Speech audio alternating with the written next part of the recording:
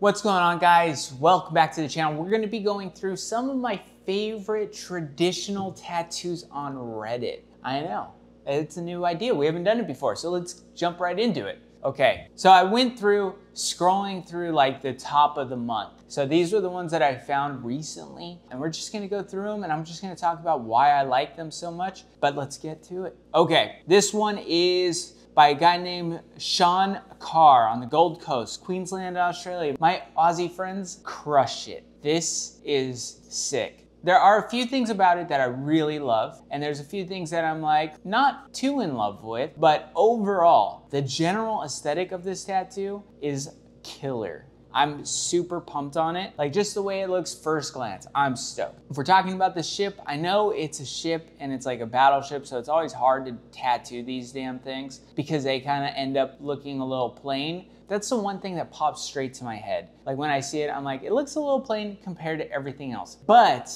that is like such a non-issue because the overall aesthetic is so strong. I really do love the dagger underneath because it just fills in so well and just looks so tough. The panther and the tiger on the sides of the belly were smart, like smart moves. And I love that they're not like, they're not like perfectly symmetrical. Like for my chest and stomach, it's a little too symmetrical right now and I can't wait to like change it up a little bit. I want things to be a little bit more uneven, which is something I like this full torso is done. It just feels more organic, I guess, in a lot of ways than like maybe my chest and stomach do. The girls are sick, super pumped. There's some interesting choices there, but not at all a bad tattoo or anything like that. I'm just like trying to find things to pick on uh, because overall the tattoo is a killer.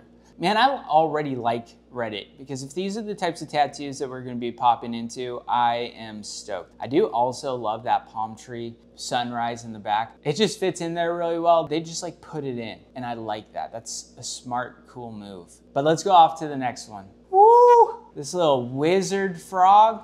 Dude, I love this. I did a frog not too long ago, like a cowboy frog. It was done in black and gray, and had I done it with color, this would have been the way to go. With these two greens and that pink, bro, I love that. There's so little things I could say about it that are, are bad. I mean, there's nothing. It's a almost flawless tattoo. I feel like the tattooer who did this, which unfortunately we don't have a name, probably had a hard time with that purple. That's purple, bro. Purple can always be kind of a pain in the ass to tattoo. Just because it's one of those colors that like, it feels like it's never quite in the skin. Sometimes you overwork it because of that. Where like these greens and these pinks, like once you put them in, you could like tell immediately that they're in the skin. Not a problem at all. Really easy colors. Purple, always a pain in the ass. Brown, always a pain in the ass. But yeah, just a sick tattoo. I love that little fly at the edge too on like the staff. So smart, so cool. Okay, that's it. That's a, just a great tattoo. Wow. I feel like I'm gonna say I like this a lot. It's not finished, just one more session to go it looks like, but I really am stoked on like the way that this is coming out. I like that they used this butterfly girl head, but they didn't use the one that everyone uses. They changed it up. She redrew it or he redrew it. I'm pretty stoked. It looks good. It looks solid. It looks strong. The rose right above it, solid and strong. I love these stars. Like I like that they just put them wherever they felt like they wanted to. I feel like they can be a little bit of something in between the rose and the butterfly girl, but that's just, that's me being nitpicky as shit because it's an overall just great tattoo. And I love seeing like black and gray traditional.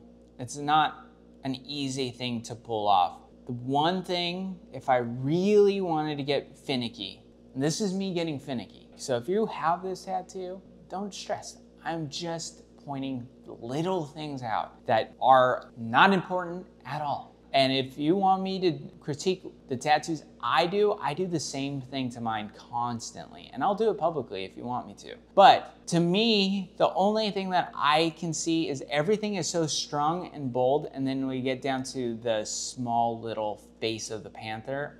I wish they would have done a bolder, dumber looking panther. That's also personal preference. So I'm not gonna like harp on that too much. But I do feel like it kind of gets lost a little bit in comparison to the rest of the tattoo that's so easily legible. off to the next one, dude. Little Party Cat, done by Bram Bowman. That is a name, my dude. At Tattoo Joris, that tattoo is sick. I really love how the tattoo was not afraid to pound black into this tattoo.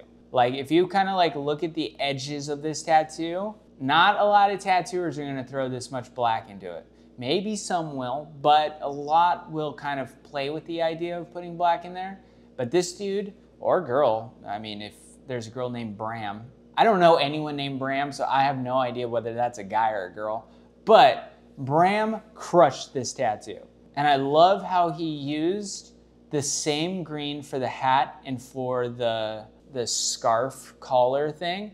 Because in my mind, I would almost always change those up. Maybe I wouldn't put so much green into the tattoo, but clearly it works. So it's just something I need to rethink the next time I'm doing something like this. And I think it works because he's pounded so much black into this tattoo that it just like feels okay to have that much color saturated into it. And that red, I mean, spot on, so strong, stands out. There's enough red that it competes.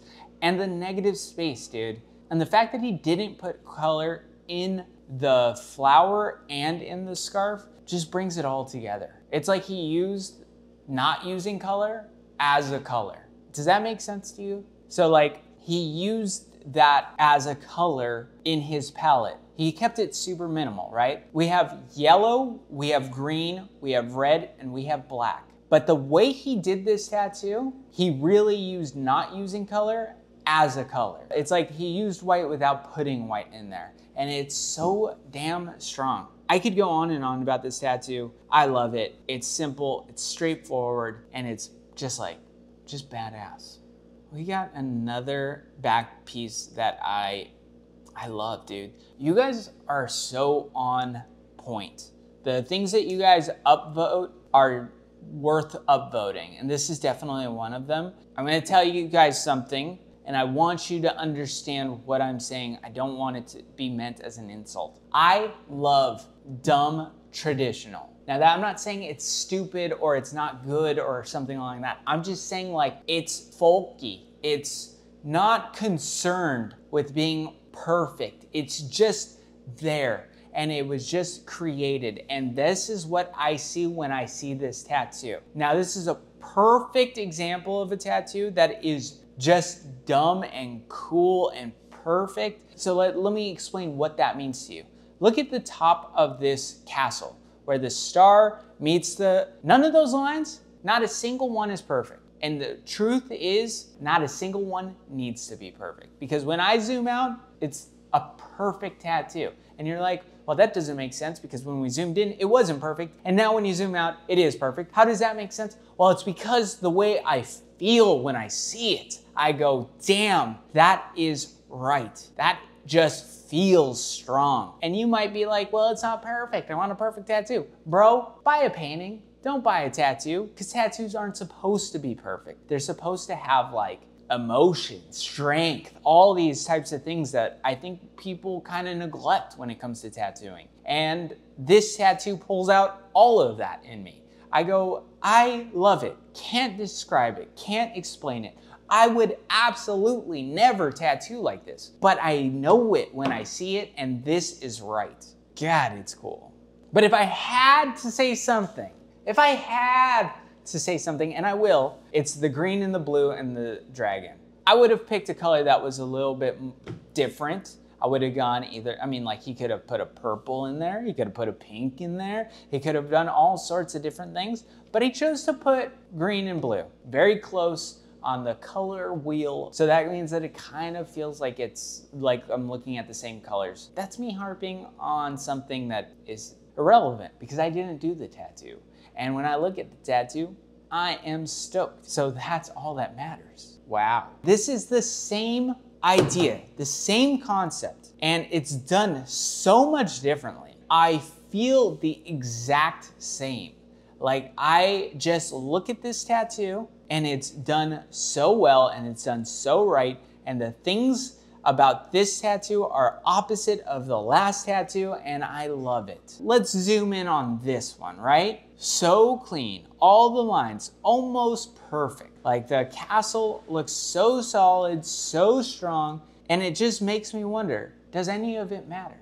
Or is it just about the final product? I mean, that doesn't take away from this tattoo at all. This is an amazing tattoo. I'm just pointing out that like that thing that I am trying to express of like how tattoos feel. This tattoo, I feel the same way. Like I'm just like, ooh, that is strong. I love the black in the rocks. And so we're gonna spend a few minutes talking about these rocks because that is so cool and so smart and the where he placed certain things are really well done. Now, in case you don't know, when you look at these rocks, to me, I see a very Japanese-esque tattoo. A lot of times rocks will kind of look like that. It's not exactly, don't get, don't be crazy. It's not a Japanese rock, but this is definitely done by a guy who knows what, how to do Japanese rocks because he is definitely using that to his advantage. And this is what helps to know all sorts of different styles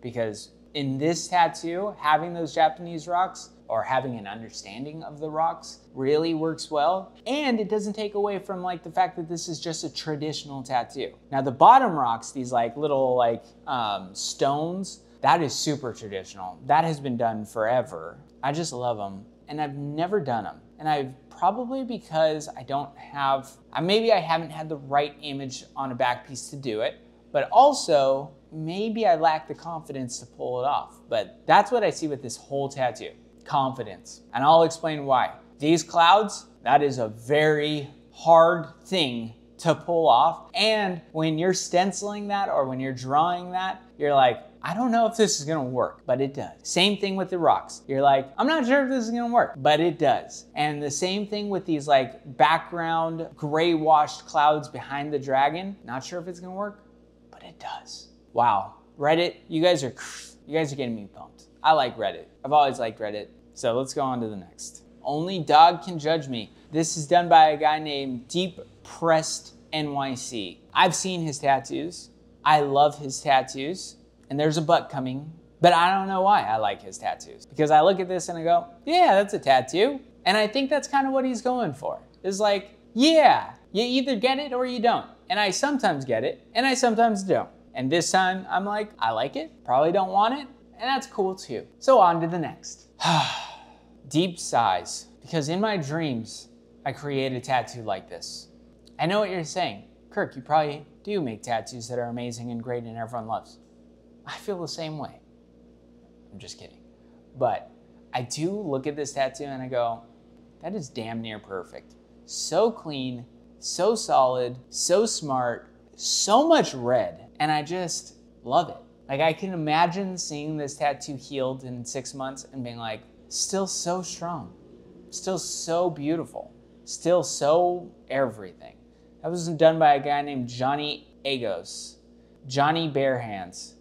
North Carolina. If you're in North Carolina, you got a guy to go see because he is a killer. I know everyone's kind of a killer, but like, look at how solid this is, dude. Now, in case you don't understand why I'm saying it's so solid, I'll break down a few things. Let's zoom in on this feather, on this wing. One part, he decides to go solid red, and it looks great. It looks solid, it looks saturated, it's everything he wanted to do. But then on the next one, he goes, I'm going to do almost all solid with just a feather, just a feathering of the red. And you could see how it like changes the whole thing. Not to mention he put it on the other side, which I would almost never do. And even looking at it, I had to take a second glance. I was like, he did that on the other side. I would never think to do that. Why does that look so right? That's it. It's just something about it. It's very smart. It's very unique. He's doing things that like I would never think to do the black top part right here where, where he put this little bit of red and he shaded it. Brilliant. Would never think to do that. Almost every other tattooer would put line, line, put a little bit of black in that, and then go to the next one. Like they were tattooing the scales of a dragon on this bird. This dude goes, I'm not gonna do that. I'm gonna shade a little bit of black into the scales and pound red into it, and you're gonna love it because I'm awesome. That's what he did. And that's how it came out. And that is the end of this video because I have no more patience for looking at cool tattoos. I have to look at some garbage now because these things are killers and I liked looking at them, but now I have to go back to work and do some sick tats. See you in a few days. Like, subscribe. Don't forget about our membership if you want to see an extra video every week. Thanks, guys. Just so you know, we're booking for Southern California and LA and San Diego for July and September. Book some appointments, get some sick tats. We'll make some magic. Bye.